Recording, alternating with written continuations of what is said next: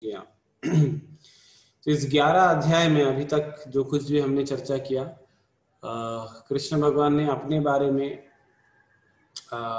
जीवात्माओं के बारे में काल के बारे में, कर्म के बारे में, प्रकृति के बारे में बहुत सारा ज्ञान दिया है और एक एक अध्याय को एक एक सब्जेक्ट लेकर आगे बढ़ते हुए डिस्कस कर रहे हैं भगवान श्री कृष्ण और अर्जुन के बीच में। तो आप सभी लोग शायद जानते हैं, या फिर से मैं एक बार याद दिला देता हूँ, कि भगवत गीता में पाँच सब्जेक्ट मैटर्स है। पाँच तत्वों के बारे में वर्णन है। वो है भगवान, दूसरा है जीवात्मा, तीसरा है प्रकृति, चौथा है काल, और पांचवा है कर्म। हम्म। तो इस सभी चीज़ों का वर्णन कहीं ना कहीं भगवत गीता में आता है। कभी कभी एक अध्याय में एक ही फोकस रहता है। लेकिन पूरी तरीके से भगवान ये पाँच सब्जेक्ट मैटरों का डिस्कशन चर्चा इन सारे अध्यायों में कर रहे हैं। तो अभी हम देखते हैं, अभी तक हमने क्या देखा है कि भगवान अर्जुन को नवे अध्याय में यह शिक्षा दिया है कि तुम मेरी भक्ति करो। मन मना भव मत भक्तो मध्याजी माम नमस्कुरु। मामे वैश्य युक्त आत्मा नाम मत परायण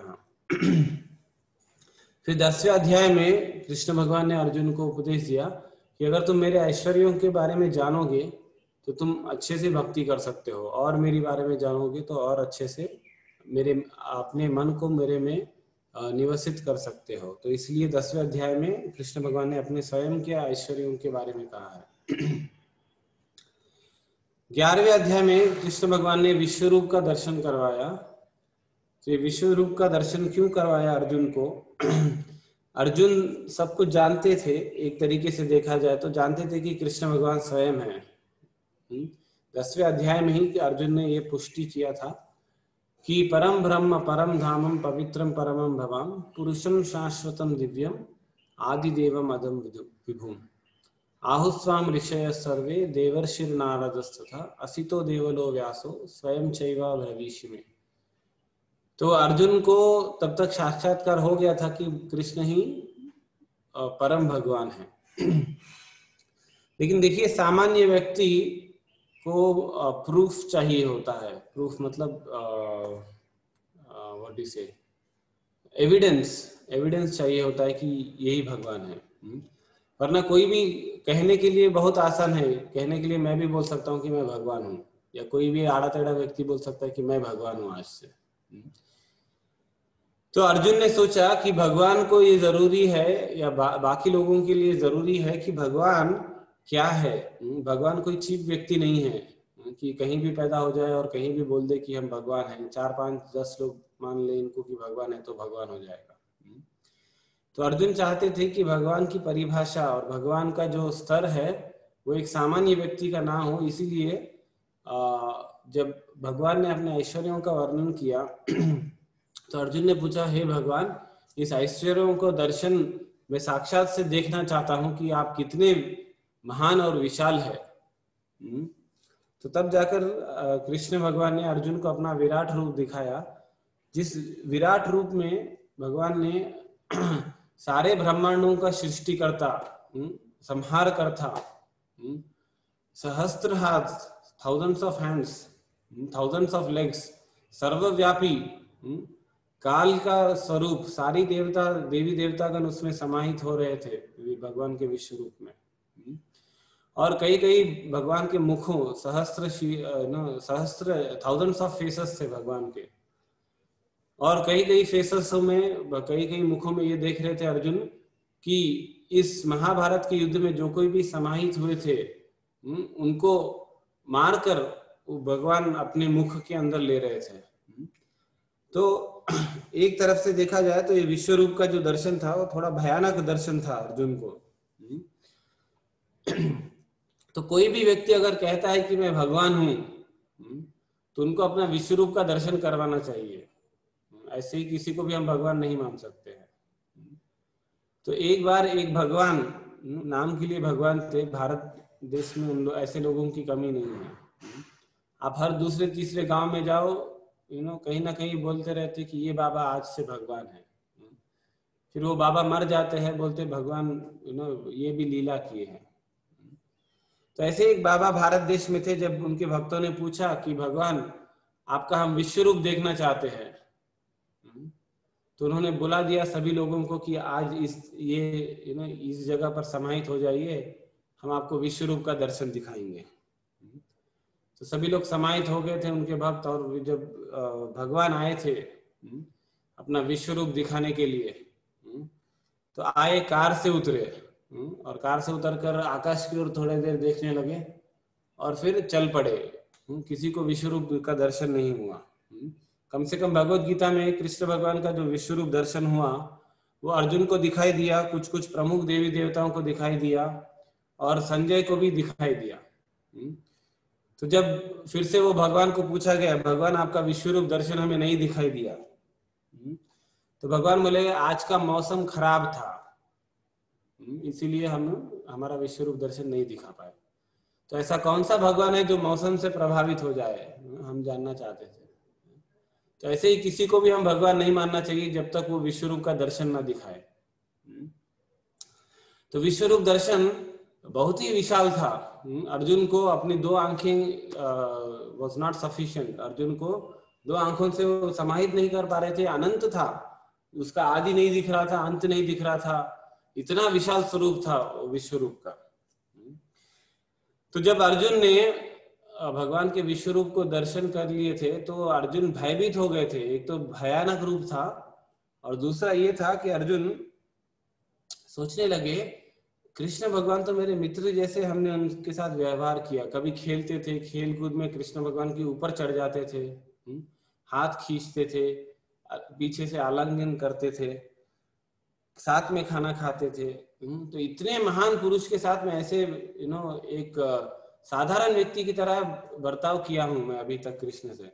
तो दोनों कारण की वजह से अर्जुन डर जाता है। हम्म, तो इसीलिए जो विश्व रूप का दर्शन होता है जो भक्त लोग होते हैं उनको उतना प्रिय नहीं लगता है। हम्म, क्योंकि वो इतना भयानक रूप दिखाई दिए थे कृष्ण भगवान ने। तो इसीलिए जब भी हम पूजा करते हैं तो हम विश्व रूप के दर्शन को पूजा नहीं करते हैं। हम राधा कृष्ण, जैसे उसके बाद में जब अर्जुन भयभीत हो गए थे, फिर से कृष्ण भगवान उनको अपने भक्ति में लगाने के प्रयास में थे तो तब फिर से अर्जुन ने भी याचना किया था, ये भयानक रूप मुझे मत दिखाइए कृष्ण, आपका सौम्य रूप दिखाइए। तो जब भगवान ने विश्व रूप को दर्शन को समाप्त करके अपने चतुर्भुज रूप को दर्शाए फिर उसके बाद में द्विभुज you know two handed form को दिखाया।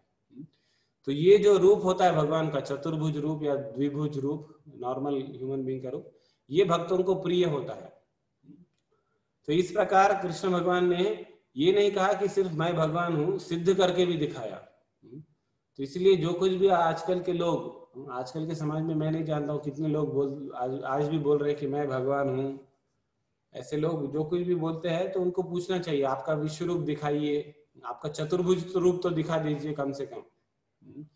क्योंकि कृष्ण भगवान जब अवतरण हुए थे देवकी के गर्भ से, तब कृष्ण भगवान देवकी मैया और वसुदेव को कॉन्फिडेंस विश्वास जताने के लिए सब, सर्वप्रथम चतुर्भुज रूप दिखाए कि मैं ही भगवान हूँ, आप लोग चिंता मत कीजिए, आपकी पीड़ाओं को हरने के लिए मैं आ गया हूँ तो अगर कोई व्यक्ति बोलता है कि मैं भगवान हूँ तो उनको बोलना चाहिए, कम से कम चतुर्रूप चतुर्भुज रूप दिखा दीजिए। तो ये भगवान को आइडेंटिफाई करने के लिए इजी हो जाएगा। वरना नॉर्मल व्यक्ति कोई भी बोल सकता है, मैं भगवान हूँ, भगवान का अवतार हूँ। हाँ मेरे अवतार के बारे में शास्त्रों में नहीं लिखा है, लेकिन यू नो अब आप मेरे को भगवान मान लीजिए। तो ऐसे कहने वाले बहुत मिल जाएँगे आपको। हम्म? तो इसीलिए ग्यारहवें अध्याय में भगवान ने भगवान ने चाहा कि मैं विश्व रूप दिखाऊँ, ताकि लोग समझ पाए कि भगवान कौन है?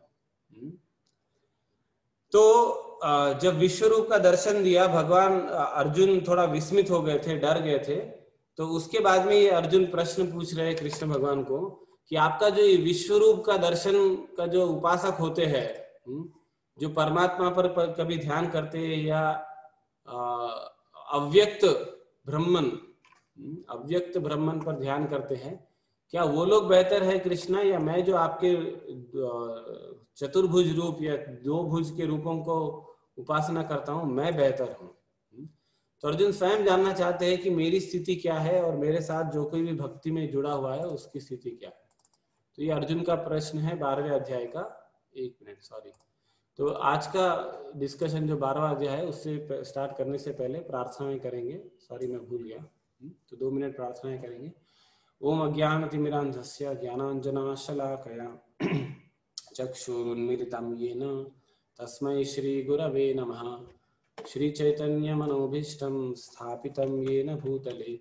स्वयं रूपा कदा मह्यं ददाति स्वपदान्तिकम्। वन्देऽहं श्रीगुरो श्रीयुतापदकमलं, श्रीगुरून् वैष्णवांश्च।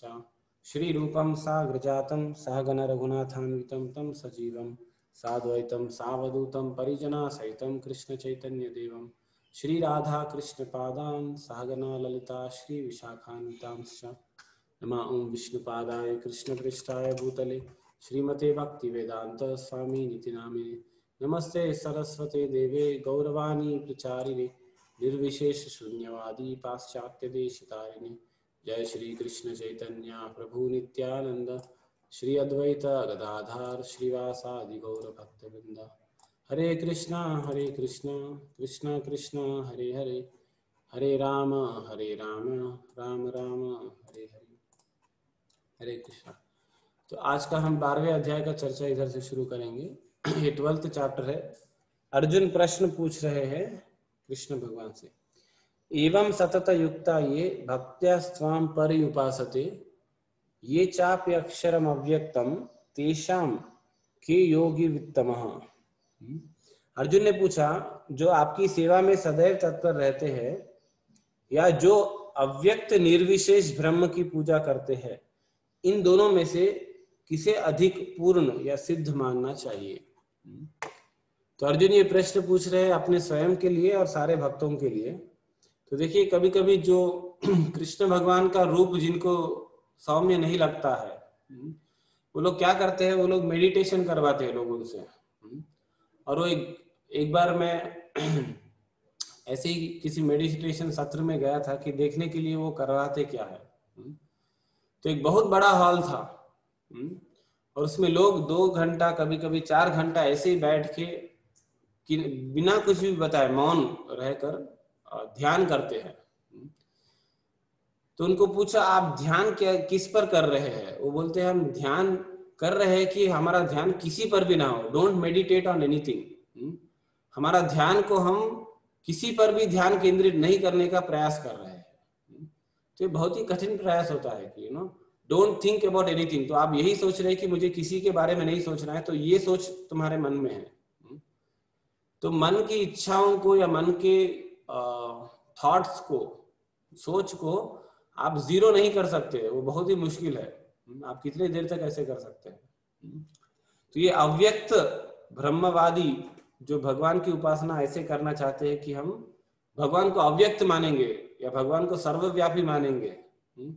तो ऐसे उपासकों की क्या दिशा है? दशा है और मेरी क्या दशा है? ये भगवान को कृष्ण भगवान ने प्रश्न पूछा, सॉरी, अर्जुन ने प्रश्न पूछा। तो इसका जवाब दे रहे हैं ये भक्ति योग में। इस अध्याय को इसीलिए भक्ति योग कहा गया है क्योंकि भगवान ने इधर क्लियरली भक्ति योग क्या है?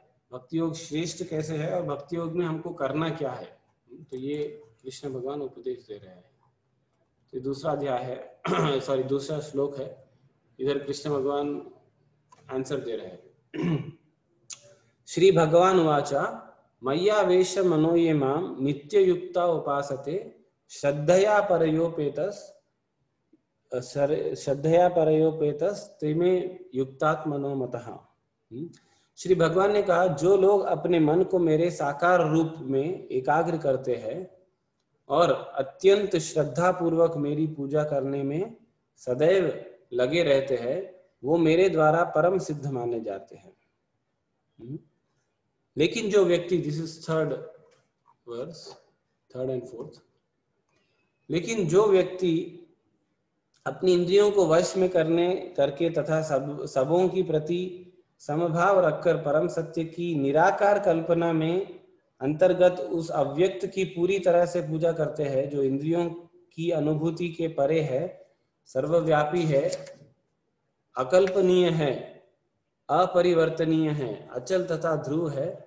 वे समस्त लोगों के कल्याण संग्रह संलग्न रहकर अंततः मुझे प्राप्त करते हैं।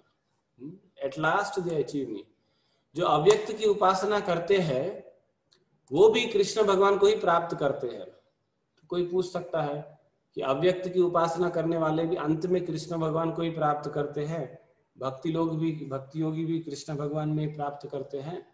तो डिफरेंस क्या है? तो हमें क्यों कृष्ण भगवान के स्वरूप पर ध्यान करना चाहिए? हम वो अव्यक्त ब्रह्मन जो सर्वव्यापी है उनकी कोई सोच नहीं कर सकता है कोई कल्पना भी नहीं कर सकता है उनकी हम उपासना करेंगे।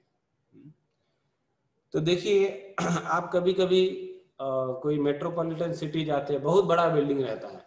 हम्म, पचास मंजिल या कभी कभी सौ मंजिल का बिल्डिंग रहता है। तो सौ मंजिल का बिल्डिंग में आप जाना चाहते हैं हंड्रेड फ्लोर हम्म, या सबसे टॉप वाला फ्लोर में जाना चाहते हैं स्तर पे जाना चाहते हैं। तो आप जाते ही सर्वप्रथम देखते हैं लिफ्ट है क्या? तो जैसे आप जाते हैं लिफ्ट का बटन दबाते हैं लिफ्ट आता है लिफ्ट में बैठ जाते हैं खड़ा हो जाते हैं और लिफ्ट से ऊपर जाते हैं फिफ्टी फ्लोर तो लिफ्ट से फिफ्टी फ्लोर जाते हैं तो आप मतलब या सबसे ऊँचा सर जाते हैं तो पहुँच जाते हैं। हम्म, कौन ऐसा व्यक्ति है जो हंड्रेड फ्लोर का बिल्डिंग देखकर बोलता है कि चलो हम सीढ़ी चढ़ के जाते हैं। हम्म, सीढ़ी से भी हम ऊपर पहुँच सकते हैं। तो एक फ्लोर दो फ्लोर तीन फ्लोर चढ़ने के बाद आपको मुश्किल होने लगता है। हम्म, तो फिर चौथे फ्लोर के जाने के बाद पूछते हैं कि वो लिफ्ट कहाँ है? कोई व्यक्ति ऐसा होगा जो पूरा हंड्रेड फ्लोर चढ़ते चढ़ते चढ़ते जाएगा, बहुत मुश्किल होगा। वही मुश्किल को इधर कृष्ण भगवान दोहरा रहे वो जो दूसरा मार्ग है, अव्यक्त का मार्ग है, वो बहुत ही मुश्किल है। Fourth this is fifth verse क्लेशो अधिकर तेषाम अव्यक्ता सक्त चेतसाम। अव्यक्ता ही गतिर दुखम देहवाद भी रोवाप्यते तो कृष्ण भगवान कह रहे हैं, जिन लोगों के मन में, मन परमेश्वर के अव्यक्त, निराकार स्वरूप में प्रति आसक्त है, उनके लिए प्रगति पर प्रगति कर पाना अत्यंत कष्टप्रदक है हम्म। आप देखेंगे, आप थोड़ा सीढ़ी चढ़ने के बाद आपको बहुत मुश्किल होने लगता है हम्म। तो अव्यक्त पर ध्यान करना स्टार्टिंग में, अगर वो ले भी ले, कुछ देर के बाद उसे बहुत मुश्किल होने लगता है हम्म।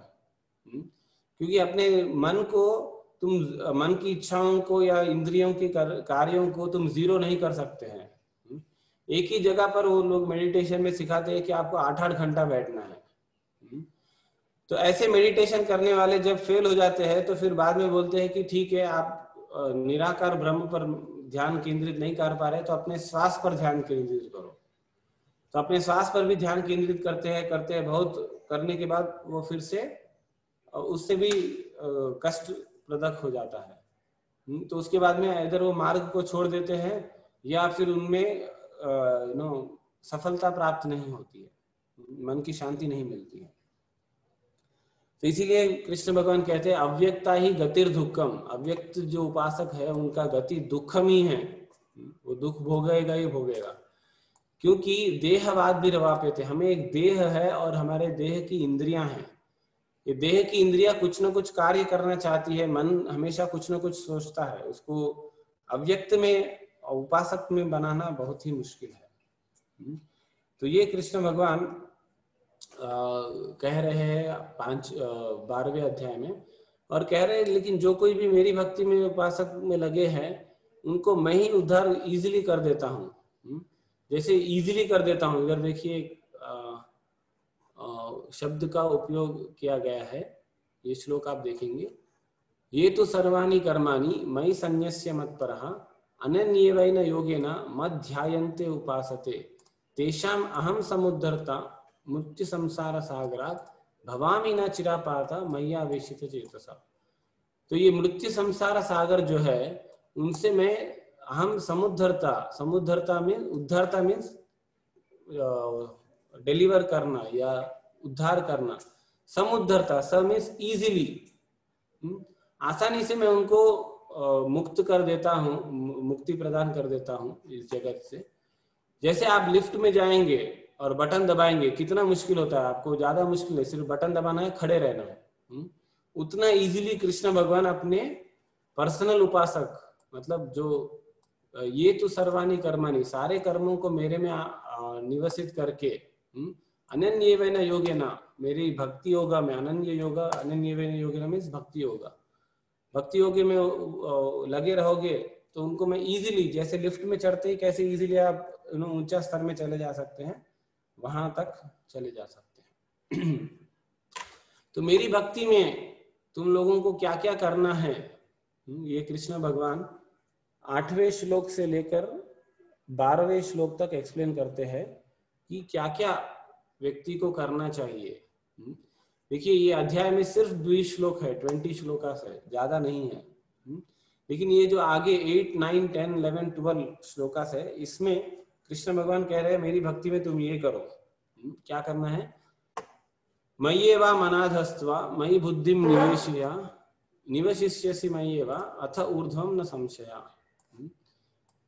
तो इसका सिंपल ट्रांसलेशन है। सिंपल अनुवाद है। कृष्ण भगवान कह रहे हैं, मुझे भगवान, मुझ भगवान में अपने चित्त को स्थिर करो, अपनी सारी बुद्धि मुझमें लगाओ। इस प्रकार तुम निस्संदेह मुझे सदैव वास करोगे, मुझमें सदैव वास करोगे। तो इसमें कृष्ण भगवान बोल रहे हैं कि मेरी भक्ति में तुम अपना बुद्धि को लगाओ। इंटेलिजेंस मई बुद्धि निवेश तो ये आप बुद्धि को कैसे लगाते हैं? हम्म, एक तो हम शास्त्रों को पढ़कर भगवान को समझने का प्रयास करेंगे ये भी निवेश मयवा है मई बुद्धि निवेश निवेश है। या कभी कभी अपने बुद्धि से हमको कृष्ण भगवान में कैसे युक्त करवाना चाहिए ये भी हम सोच सकते हैं। हम्म। जैसे उदाहरण के लिए हमारे एक वरिष्ठ भक्त ने हमें ये आइडिया दिया था, ये सोच दिया था कि आजकल सब कुछ जूम पे हो रहा है, बच्चों का स्कूल बंद हो चुका है हम्म। लोग घर पे ही बैठे हैं, उनको मंदिर बुलाना मुश्किल है कुछ कुछ लोग नहीं आना चाहते हैं ये काल के वजह से तो क्यों ना हम ये ऑनलाइन प्रोग्राम शुरू करें जिससे लोग घर में बैठ के भी भगवत गीता के बारे में सुन सके तो ये एक तरीके का बुद्धि योग है, अपने बुद्धि इंटेलिजेंस को यूज़ करके ये योजना बनाए कि लोगों तक कृष्ण को कैसे पहुँचाए। मई बुद्धि निवेश यहाँ तो इस प्रकार हमें बुद्धि का इस्तेमाल करना है कि कैसे हम कृष्ण भगवान के भक्त बन सके। कैसे हम अपने कार्य भी जो हमारे नियत कार्य, कर्म है, उससे भी कैसे हम पूरा कर सके। हम्म? जैसे हमारे जब हम बॉम्बे में रहा करते थे हमारे बहुत सारे भक्तों का कार्य बॉम्बे और दिल्ली में रहा करता था हम्म? तो जब भी वो दिल्ली जाते थे हम्म, एक दो दिन का समय और ले लेते थे बिज़नेस कार्य से भी दिल्ली जाते थे तो एक दो दिन का और समय ले लेते थे क्योंकि दिल्ली से वृंदावन ज़्यादा दूर नहीं है अपना कार्य करने के बाद एक दो दिन का समय मिल गया तो वृंदावन जाकर कृष्ण भगवान की लीला स्थलियों का स्मरण कर सके हम्म? तो इसीलिए आपके मन में अगर ये बुद्धि योग का निवेश हो चुका है तो आप ऑलरेडी सोचने लगेंगे कि मैं नियत कर्म को कैसे अपने नियत कर्मों को ऐसे डिज़ाइन करूँ ताकि मैं कृष्ण की भक्ति में और जुड़ सकूँ? तो ये कुछ मैं उदाहरण दे रहा हूँ कैसे हम भक्ति योग में अपना बुद्धि को निवेश कर सकते हैं। अत चित्तम समाधातुम ये नाइन्थ श्लोक है। अत चित्तम समाधातुम न शक्नोसी मई स्थिरम। अभ्यास योगी न तथो माम इच्छा तुम धनंजय तो कृष्ण कह रहे हैं, ओ धनंजय अगर तुम अपने मन को मेरे में स्थित नहीं कर पा रहे हो, यदि तुम अपने चित्त को अविचल भाव से मुझ पर स्थिर नहीं कर पा रहे हो तो बुद्धि योग के विधि विधानों का पालन करो इस प्रकार तुम मुझे प्राप्त करने की चाह उत्पन्न करो हम्म? तो देखिए, भक्ति योग में भी कुछ कुछ स्तरें हैं। ऐसे नहीं कि भक्ति योग में सभी लोग एक ही स्तर पे है? तो भक्ति योग में सर्वप्रथम इधर कृष्ण भगवान कह रहे अपनी इंटेलिजेंस को यूज़ करो। यूज़ योर इंटेलिजेंस बुद्धि योगा, मई बुद्धि निवेश है। तो देखिए, भक्ति योग में क्या है, ऐसे नहीं कि जो हाईली क्वालिफाइड नहीं है, उसको रिजेक्ट कर दिया जाता है। जिसकी योग्यता नहीं है, उसको तिरस्कृत नहीं किया जा सकता है। जैसे मैं इससे पहले भी गीता सारम में कह रहा था, भक्ति योग में जुड़ने के लिए कोई भी योग्यता, महान योग्यता रहने की ज़रूरत नहीं है, सिर्फ़ श्रद्धा काफ़ी है हम्म। तो अगर कोई कह सकता है, देखिए, मैं इतना इंटेलिजेंट नहीं हूँ, मेरे पास इतनी बुद्धि नहीं है और बुद्धि है तो भी मैं उसे एकाग्र चित्त कर कर भगवान के भगवान के मन भगवान को उपासन करने में मैं एकाग्र नहीं कर पा रहा हूँ तो कृष्ण भगवान कह रहे हैं डोंट वरी उतना चिंता मत करो, तुम नेक्स्ट कार्य करो हुँ? हम्म? क्या है नेक्स्ट कार्य भक्ति योग के विधि विधानों का पालन करो हुँ? हम्म?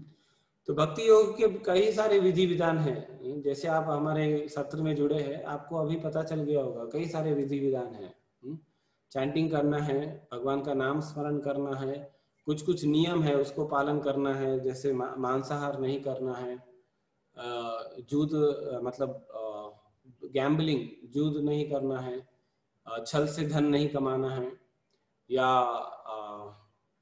मदिरा पान नहीं करना है तो ये सब भक्ति योग के विधि विधान है हम्म। ऐसे आप देखेंगे तो एक्चुअली एक एक बहुत सारे विधि विधानों का वर्णन किया गया है और 64 विधि विधान का वर्णन किया गया है, हमारे आचार्य लोग देते हैं लेकिन ये 64 विधि विधानों में पाँच विधि विधान सर्व महत्वपूर्ण है। हम्म। एक है भगवान का नियमित रूप से ध्यान करना, यानी जप करना। हम्म। जैसे कोई कोई टू राउंड्स करता है, यानी यू नो दिन के पंद्रह मिनट भगवान को अर्पित करता है जप करने में। वो भी एक विधि विधान है चैंटिंग पाँच विधि विधानों जो सारे, सर्व प्रमुख है उसमें सर्वप्रथम है श्रवणम। श्रवणम मतलब भगवान का, भगवान के बारे में सुनना। कीर्तनम मीन्स जप करना या भगवान का कीर्तन करना। तीसरा है भगवान के अर्च विग्रह का उपासन करना। चौथा है भगवान के भक्तों का संग करना। हम्म? अगर आपके पास भगवान का विग्रह भी नहीं है तो आप भगवान का एक फ़ोटो लगा सकते हैं। हम्म? और ताकि हमें भगवान का स्मरण हमेशा रहे। हम्म? चौथा है भगवान के भक्तों का संग करना। पांचवा है ऐसी जगह पर रहना जहाँ पर कृष्ण भगवान लीलाएँ किए हैं, जैसे मथुरा, वृंदावन जैसे या तीर्थ स्थली जैसे तिरुपति ऐसे। तो इनमें से हमें जो कर सकते हैं वो करना बहुत महत्वपूर्ण है। हम्म? तो विधि विधाओं का पालन करना, बहुत सारे विधि विधान हैं, लेकिन मैंने आपको पाँच विधि विधानों का वर्णन किया हूँ, जो सर्व प्रमुख है। हम्म? ये पाँच विधि विधानों को भी अगर कोई कर कर लेता है तो बहुत ही ऊँचे स्तर पर पहुँच सकता है भक्ति योग में। हम्म? तो कोई बोल सकता है, देखो, मुझे विधि विधानों का पालन करना भी मुश्किल है।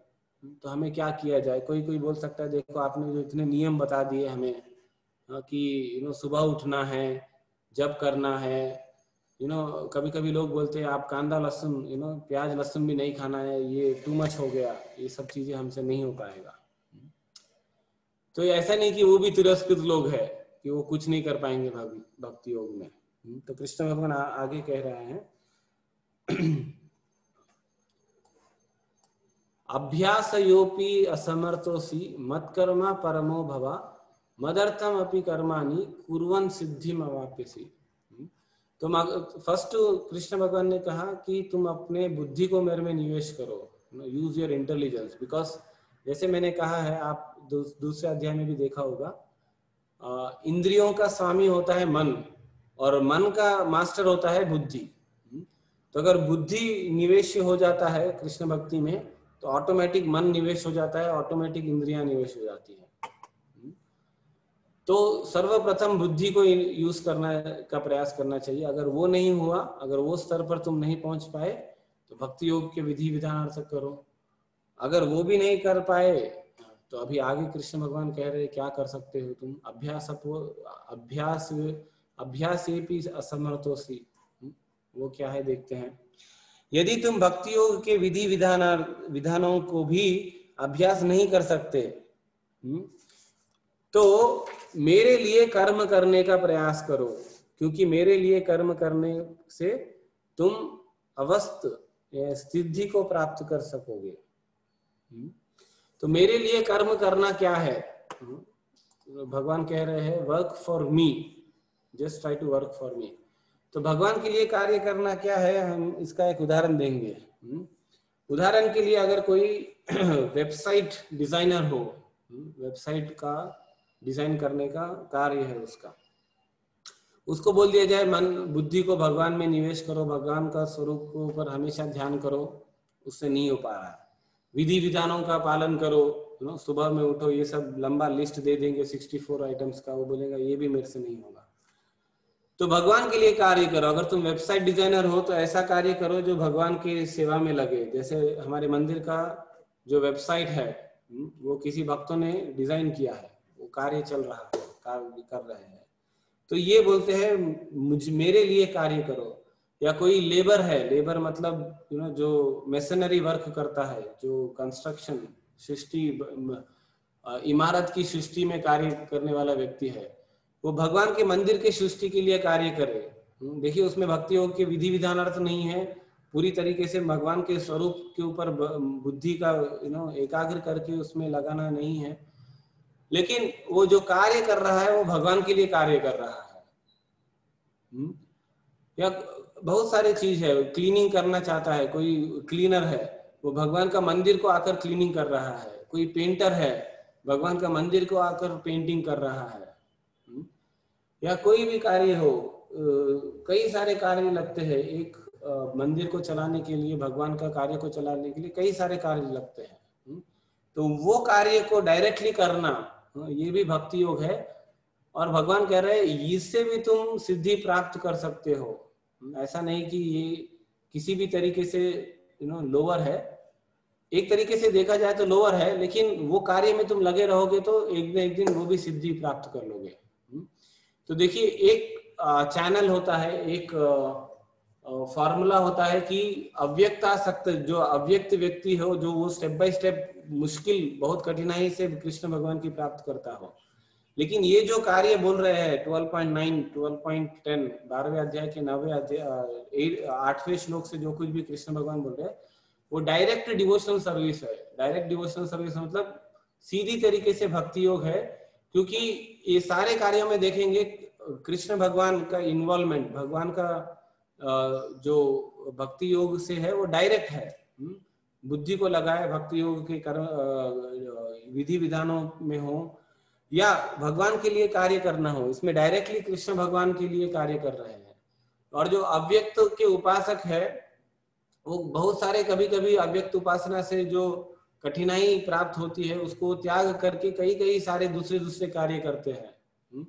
जैसे वो सोचते हैं कि गरीबों को खाना खिलाना चाहिए और गरीबों को कपड़ा देना चाहिए, समाज को स्वच्छ करना चाहिए, रोडों को साफ़ करना चाहिए ये डेफिनेटली अच्छे कार्य है, लेकिन वो कार्यों से भी अच्छा कार्य है, तुम कृष्ण भगवान के कार्य में डायरेक्टली लगो हम्म? इसीलिए जब भी हम भगवान लोगों को भोजन भी खिलाते हैं, उसमें हमें याद रखना चाहिए कि हम भगवान का प्रसाद खिला रहे हैं भगवान को जो अर्पण किया गया है, वो वो हम खिला रहे हैं हम्म? तो इस प्रकार डायरेक्ट भक्ति योग के ये सारे विधि विनाधान है, ये सारे स्तर है हम्म।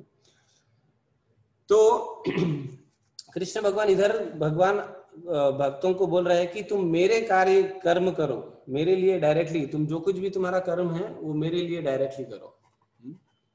तो नेक्स्ट भगवान और और उसके आगे भी बढ़ रहे हैं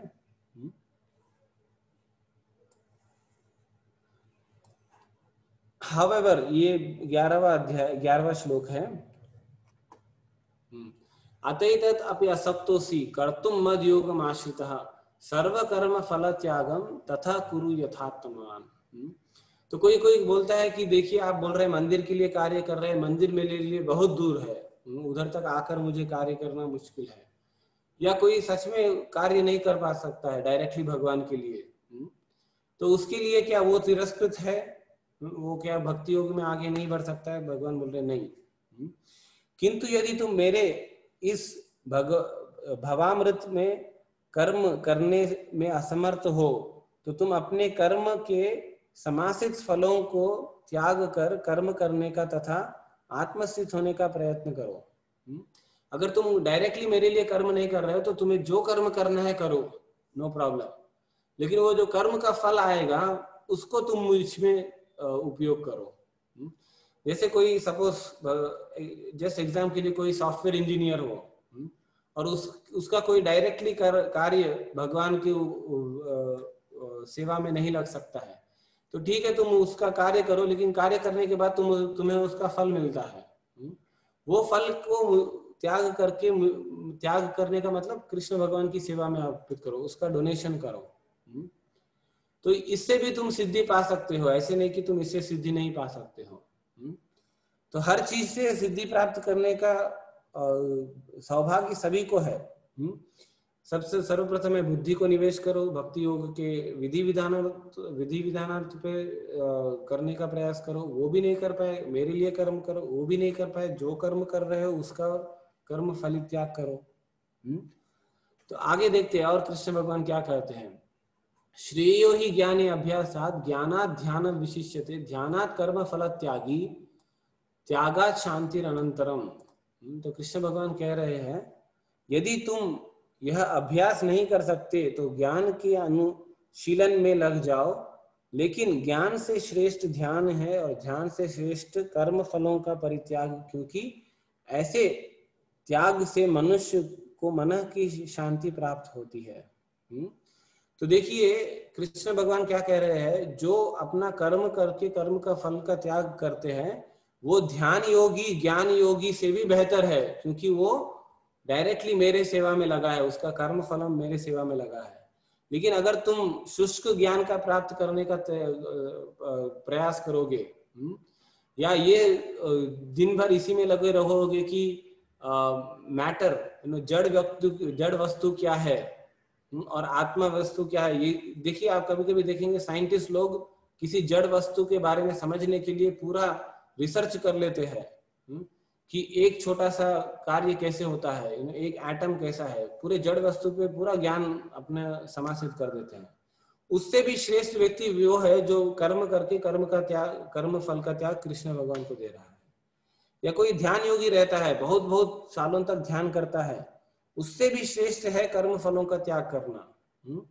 तो जो कोई भी दूसरे योग पद्धतियाँ हैं, ध्यान योग, कर्म ये कर्म त्यागी व्यक्ति बहुत ही ऊँचे स्तर में बताया गया है हम्म?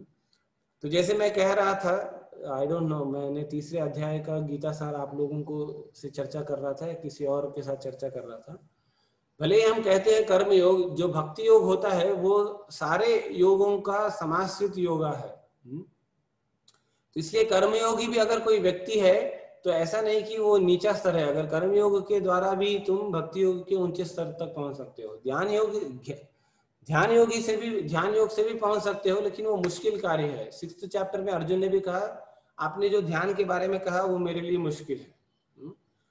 तो कृष्ण भगवान कह रहे वो मुश्किल कार्य भी है और उससे श्रेष्ठ है कर्म योग कर्म फल त्याग योग। तुम वो करो, वो बेटर है और वो इजी भी है, वो श्रेष्ठ भी है? इसीलिए जो कोई भी इंटेलिजेंट व्यक्ति रहता है, वो सोचता है हम्म?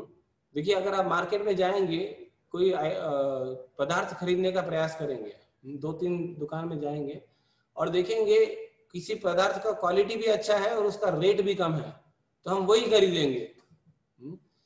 तो ये जो कर्म फल त्यागी है हम्म? उसके करना भी करना भी इजी है और वो श्रेष्ठ भी है ध्यान योगा से, जो जंगल में जाकर एक पैर पे खड़े होकर कुछ भी नहीं खाकर, ऐसे जो ध्यान योगी है, उससे बेटर है कि जो कर्म फल त्यागी है हम्म? तो हमें निश्चय रूप से यही सोच लेना चाहिए कि हम कम से कम ये स्तर पे आना चाहिए कि हमें अपना कर्म का फल भगवान को अर्पण करना है हम्म? तो इस प्रकार हम भक्ति योग को जानेंगे तो कृष्ण भगवान कह रहे हैं कि ये सारी चीज़ें हैं और तुम कहीं भी निवसित होगे, उसका मैं गारंटी दूँगा कि तुम्हें अल्टीमेट सिद्धि मिलेगा हम्म? पूर्वम सिद्धि में वापसी मैं मैं करवाऊँगा तुम्हारी सिद्धि? तुम अपनी चिंता मत करो ये चार पाँच चीज़ों में से कहीं ना कहीं अपने आप को स्थित करो? तो आप भी अपनी निजी जीवन में देखना चाहिए कि हम हम कहाँ स्थित हो सकते हैं?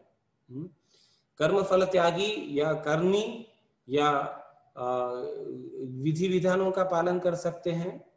या हम पूरी तरीके से अपनी बुद्धि को कृष्ण भगवान में एकाग्र चित्त कर सकते हैं तो कहीं भी आप रहेंगे तो एक स्तर से ऊँचे स्तर पर जाने का प्रयास कीजिए, लेकिन कहीं ना कहीं निवसित होना ज़रूरी है तो और ये कार्य करते समय और भी कुछ गुणों का हमें डेवलप करना है, कुछ क्वालिटीज को डेवलप करना है, ताकि हम भक्ति योग में निवसित रह सके हम्म। वो क्वालिटी कृष्ण भगवान आगे चल के बता रहे हैं थर्टींथ श्लोका से थर्टींथ हम्म। श्लोका से नाइनटीन श्लोका तक ये सारे गुणों का भगवान ने वर्णन किया है, जो मैं अभी पढ़ के आपको सुना सकता हूँ। थर्टींथ वर्ष अद्वेष्टा सर्वभूता नाम हम्म। तो किसी भी जीवात्माओं से द्वेष मत कीजिए। मैत्रीय करुण एवचा सभी से मित्रता बनाए रखिए और सभी को करना दीजिए। निर्ममो निरअहकारो निर्ममो मीन्स ममा मीन्स मेरा है। हम्म? निरअहकार मीन्स अहंकार भी, निर्ममो मतलब ये ममकार, ये मेरा है, ये भावना त्याग कर दो हम्म? अहंकारी मत बनो हम्म? सम सम दुख सुख क्षमी दुख और सुख की स्थिति में समान भाव बनाए रखो हम्म? संतुष्ट सततम योगी, जो कुछ भी आपको कृष्ण भगवान की कृपा से मिला है, उससे संतुष्ट रहो यथात्मा दृढ़ निश्चय हम्म? और मन में भक्ति योग में बढ़ने में दृढ़ निश्चय रहो हम्म? मई अर्पिता मनोबुद्धि, आपके मन और बुद्धि को मेरे में निवसित करो। यो मत भक्त्या समय प्रिय ऐसे भक्त लोग मुझे ज़्यादा प्रिय होते हैं। तो पहले बताए गए चार पाँच जो स्तर है, वो स्तर में जो कोई भी व्यक्ति है और उनके ये सारे जो कोई भी गुण है, ऐसे भक्ति भक्ति करने वाला कृष्ण भगवान कह रहा है, मेरे लिए प्रिय है। यस्मान नो द्विजते लोको, लोका नो द्विज चेतसा, हर्षामर्ष भव, भवोद्वेगा, मुक्तो यह सच में प्रिय। जो किसी को भी कठिनाई में नहीं डालता है जो कि, जो किसी को कष्ट नहीं पहुंचाता है तथा अन्य किसी के द्वारा विचलित नहीं किया जा सकता है, जो सुख दुख में, भय तथा चिंता में समभाव रखता हो, वो मुझको बहुत प्रिय है। तो जो जब भी आप भक्ति योग में जुड़े हैं तो ये देखना चाहिए कि हमारे वजह से दूसरे लोग कष्ट में नहीं रहना चाहिए। अननेसेसरी किसी को दुख नहीं पहुंचाना चाहिए। और कोई और लोग आपको विचलित कर रहे तो हमें भी, भी विचलित नहीं होना चाहिए। हम्म? ना दुख पहुंचाना चाहिए ना यू नो उद्विजते उद्विजते मतलब एजिटेट किसी को भी एजिटेट नहीं करना चाहिए। ना ही हम एजिटेट होना चाहिए। हम समान वह भावना बनाए रखना चाहिए। डर और भय फियर एंड एंजाइटी से हमें दूर रहना है। अनापेक्ष सुचिर दक्षा, उदासीन गतोव्यत, सर्वारंभ परत्यागी, योमद भक्त समय प्रिय। हम्म? तो कैसे कैसे गुण हमको कहना चाहिए अनापेक्षा अनापेक्षा मतलब व्हाट से न्यूट्रल मतलब ज़्यादा इच्छाएँ नहीं रहना चाहिए। हम हमेशा ये सोचना नहीं चाहिए कि कोई मुझे ये ला कर दे देगा। वी शुड बी न्यूट्रल उतना आसक्ति भाव नहीं रहना चाहिए। सूची मतलब प्योर रहना चाहिए। दक्षा मीन्स एक्सपर्ट एक्सपर्ट मतलब अपने कार्यों के करन, करने में हम निपुण रहना चाहिए। अनापेक्षा सुतिर दक्षा उदासीन गताव्यत। हम्म? ये जो भौतिक परिक्रिया परिक्रिया है उससे हमें मुक्त रहना चाहिए। फ्री फ्रॉम ऑल पेन्स और सर्वारंभ परित्यागी। कोई कार्य करते हैं तो उसका परि फल को परित्याग ही रहना चाहिए। ये नहीं सोचना चाहिए कि ये कार्य कर रहा हूँ तो मुझे इसका फल मिलना चाहिए। भौतिक मतलब मटेरियल एक्टिविटीज़ के बारे में कह रहे हैं भगवान। भौतिक कार्य के बारे में कह रहे हैं। यो ना हर्षति ना द्वेष्टि, न सोचती न कांक्षति। शुभा अशुभ परित्यागी। भक्तिमान यह समय प्रिय तो आगे कह रहे हैं भगवान, यो ना हर्षसी न द्वेष्टि। जो कभी हर्षित हो, जो ना कभी हर्षित होता है, ना शोक करता है। जो ना तो पछताता है, ना इच्छा करता है। तथा जो शुभ तथा अशुभ दोनों प्रकार के वस्तुओं का परित्याग कर देता है, ऐसे भक्त मुझे अत्यंत प्रिय है। तो देखिए कभी कभी भौतिक चीज़ें हमको मिल जाती है हमें बोनस मिल जाता है लॉटरी लग जाता है बहुत हर्षित हो जाते हैं। हम्म, या कोई कोई हमारा मित्र बंधु जो कुछ भी हमारा निकटतम व्यक्ति है वो कभी देह त्याग कर देता है हम शोक में रह जाते हैं। अत्यधिक शोक में चले जाते हैं। तो इसीलिए कभी हमें ज़्यादा हर्षित नहीं होना चाहिए ज़्यादा शोकग्रस्त भी नहीं होना चाहिए। हम्म? जो ना कभी पछताता हो हम्म, और शुभ अशुभ परित्यागी। हम्म, शुभ अशुभ मतलब क्या है? कोई कोई बोलता है, आज अशुभ दिन है तो क्या हमें भगवान का अर्चना नहीं करना चाहिए? ऐसा कुछ नहीं है। भगवान का अर्चना करने के लिए कोई शुभ, अशुभ दिन नहीं होता है। हम एवरीडे चैंटिंग करते हैं। हरे कृष्णा हरे कृष्णा कृष्णा, कृष्ण, हरे हरे हरे राम हरे राम राम राम, हरे हरे। कोई बोलता है कि, देखिए, आज अमावस्या है तो हम भगवान का अर्चना नहीं करना चाहिए। ऐसा कुछ नहीं है। भगवान का जो जप है, भगवान का जो हरिनाम जप है, उसको करने के लिए किसी भी शुभ और अशुभ दिन की चिंता करने की ज़रूरत नहीं होती है। तो ये शुभाशुभ फल त्यागी है। अच्छा दिन है, बुरा दिन है, ये कार्य करो, मत करो, ये सब मत ये सब चीज़ों में तुम मत पढ़ो और भी है आगे जाकर। समा शत्रु च, मित्रु च। अपने शत्रुओं को और मित्रों अगर है तो भी एक्चुअली शत्रु नहीं रखना चाहिए किसी को भी। लेकिन अगर शत्रु है या वो व्यक्ति आपको शत्रु मानता है, भले आप उसको शत्रु ना माने। वो व्यक्ति शत्रु मानता है। जैसे युधिष्ठिर महाराज है, किसी को भी अपना शत्रु मानते ही नहीं थे। समा शत्रु च मित्रो च, तथा मान अपमान शत्रुओं को मित्रों को समान भाव से देखो। कोई आपका अपमान करता है या कोई आपको मान देता है उसमें भी आप सम, समान दृष्टि देखो।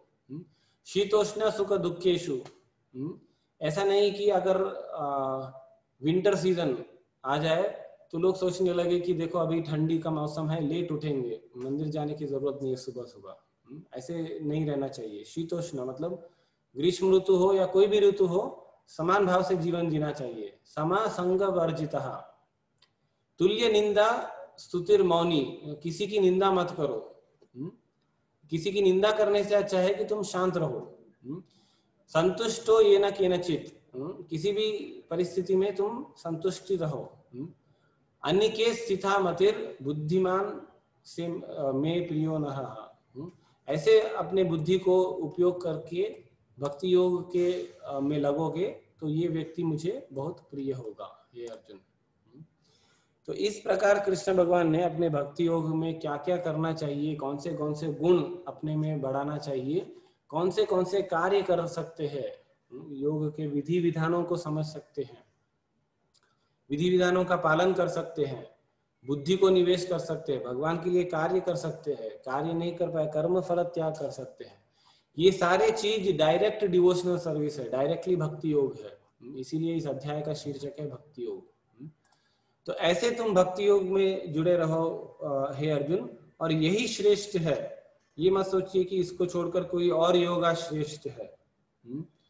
कोई कोई आप देखेंगे कोई कोई योगी व्यक्ति ऐसे रहता है रहता है कि आपको चार साल पाँच साल तक योगा सिखाता है क्यों ना नाक ऐसे पकड़े रहो पेट को ऐसे अंदर लेना चाहिए। बहुत कुछ सिखा देता है लेकिन कृष्ण भगवान की भक्ति के बारे में कुछ नहीं कहता। भगवत गीता में कृष्ण भगवान जो करे वो नहीं बताया लेकिन जो प्रिलिमिनरी है प्रिलिमिनरी मतलब जो आ, बहुत ही प्रिलिमिनरी चीज़ है, उसी पे अटके रहता है ना?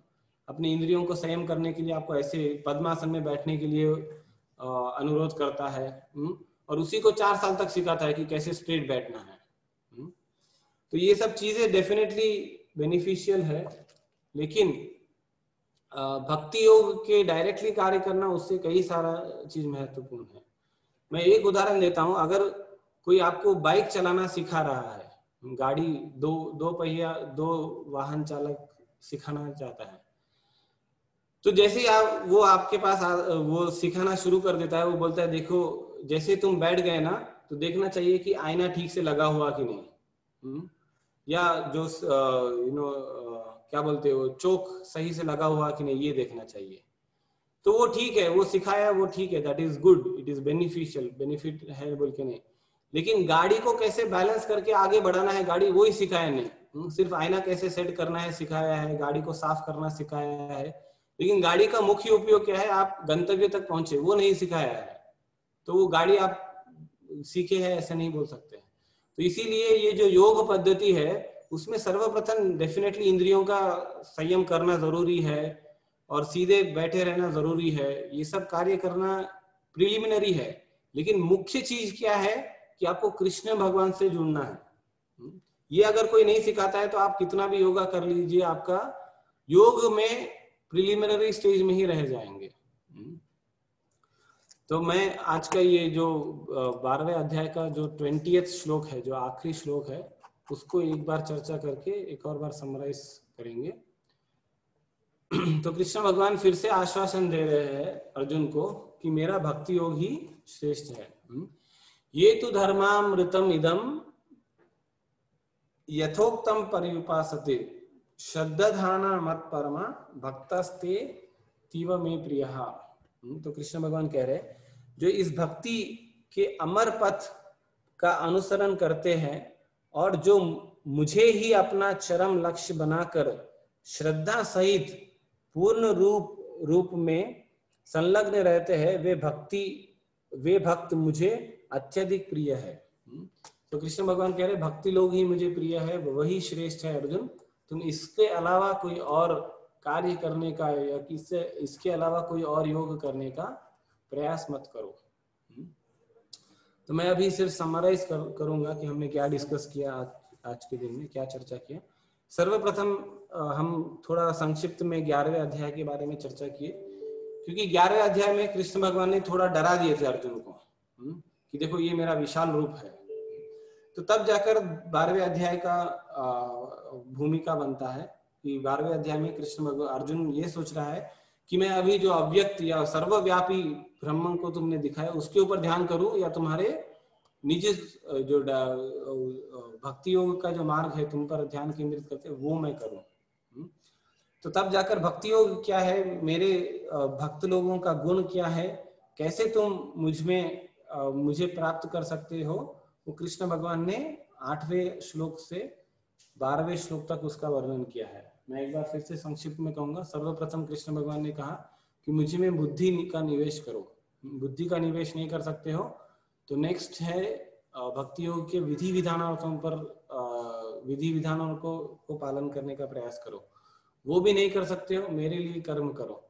मेरे लिए कर्म भी नहीं कर सकते हो, कर्म का, कर्म के फल को त्याग करो। हम्म? तो एटलीस्ट इधर से हम स्टार्ट कर सकते हैं। कहीं से ना कहीं से स्टार्ट करके हम आगे बढ़ने का प्रयास कर सकते हैं। हम्म? और कई सारे भक्तों के गुणों के बारे में कहा है। हम्म? जैसे सम दुखेशु, सुखेशु अद्वेष्टा, किसी को द्वेष मत करो, किसी को परेशान मत करो। सभी शत्रु और मित्र, जो कोई भी आपके शत्रु है, मित्र है मित्र है, या जो लोग आपको शत्रु या मित्र मानते हैं, उनके उनके प्रति समान भावना रखो। तो इस प्रकार हम भक्ति योग में आगे बढ़ सकते हैं और ये डायरेक्टली भक्ति योग है डायरेक्टली कृष्ण से हमें जोड़ता है।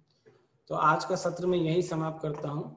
आपको किसी को प्रश्न पूछना है तो आप पूछ सकते हैं टाइप कर सकते हैं, या मैं आपको अनम्यूट करने का ऑप्शन विकल्प दिया हूँ तो आप अनम्यूट करके प्रश्न अपना पूछ सकते हैं। हरे कृष्णा हरे कृष्णा। कृष्णा कृष्णा, हरे हरे। हरे राम हरे राम राम राम, हरे हरे। हरे कृष्णा।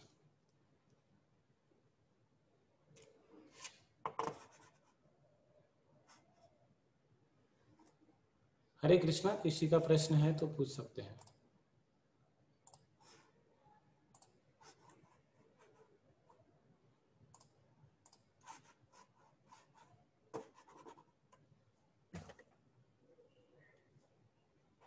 हरे कृष्णा, अगर किसी का प्रश्न है तो आपने अपने आप को अनम्यूट करके पूछ सकते हैं।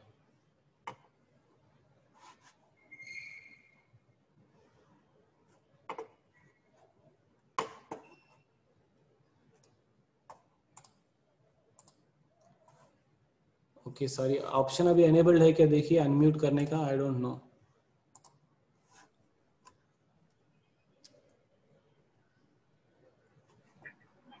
ऑप्शन है प्रभु जी हाँ ओके। तो किसी का प्रश्न है तो आप पूछ सकते हैं। हरे कृष्ण।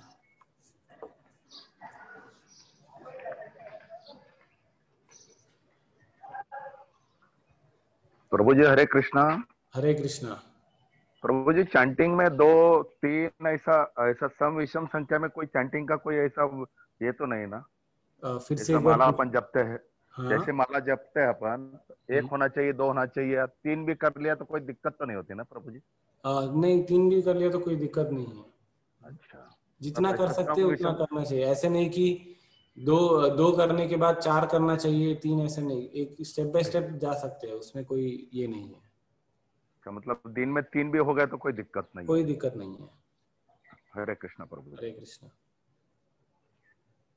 देखिए, पूरे भक्ति योग का यही सीक्रेट है जहाँ से तुम जितना आगे बढ़ सकते हो, उतना धीरे धीरे बढ़ो हम्म? जैसे हम छोटे बच्चों को जब सिखाते हैं, कुछ भी सिखाते हैं, अगर छोटा बच्चा कुछ कर नहीं पाता है, फिर भी हम उसको तिरस्कृत नहीं करते हैं बोलते ठीक है, तुम ये नहीं कर पा रहे तो ये करो हम्म? तो जैसे हम कोई भी माता पिता एक छोटे बच्चे का केयर लेते हैं, भले वो छोटे बच्चे का स्तर कोई भी हो, उसी प्रकार भगवान भक्तों की भक्तों का केयर लेते हैं? कि तुम इतना ऊँचा स्तर पर नहीं जा सके, ठीक है, कहीं भी जहाँ स्थित हो, वहीं पर स्थित रहो और आगे बढ़ने का प्रयास करो। हम्म? ये ये रिश्ता होता है भक्ति योग में, भगवान और भक्त का। और किसी का कोई प्रश्न है?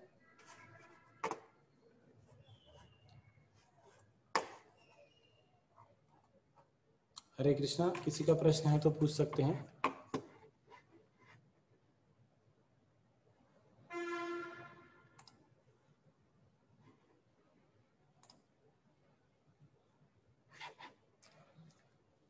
ठीक है, अगर किसी का प्रश्न नहीं है तो हम आज का सत्र यहीं पे समाप्त करते हैं। और सभी लोग एक बार मेरे साथ हरे कृष्ण महामंत्र का उच्चारण कीजिए। हरे कृष्णा हरे कृष्णा कृष्णा कृष्णा, हरे हरे हरे राम हरे राम राम राम, हरे हरे। तो मैं बहुत ही आप लोगों का आभारी हूँ कि आप अपना सुबह सुबह का समय, जो बहुत ही इम्पोर्टेंट समय होता है, अपना समय निकाल कर भगवान की भक्ति योग में या भगवान भगवत गीता का सार समझने में प्रयास में लगे हैं। इसी प्रकार जुड़े रहिए, और भी हमारे सत्र आगे है थर्टीन से लेकर एटीन चैप्टर तो अभी टू थर्ड हो गया भगवत गीता, दो तिहाई भाग हो गया है। ट्वेल्थ चैप्टर मीन्स पहले छह चैप्टर फ़र्स्ट थर्ड एक तिहाई भाग है। सातवा अध्याय से लेकर बारहवा अध्याय एक तिहाई भाग है। और इससे आगे दूसरा थर्ड थर्ड मतलब थर्ड भाग है भगवत गीता का। हम्म। तो इसी प्रकार जुड़े रहिए भगवत गीता में। और आगे चलकर हमें बहुत सिर्फ़ अठारह अध्याय नहीं, उसके बाद में भी और सारे, कई सारे हमारे कार्यक्रम रहेंगे भगवत गीता के बारे में। तो इन सभी से जुड़े रहिए। धन्यवाद। हरे कृष्णा। तो आई एम आज का सत्र में यहीं पर अंत कर रहा हूँ। हरे कृष्णा।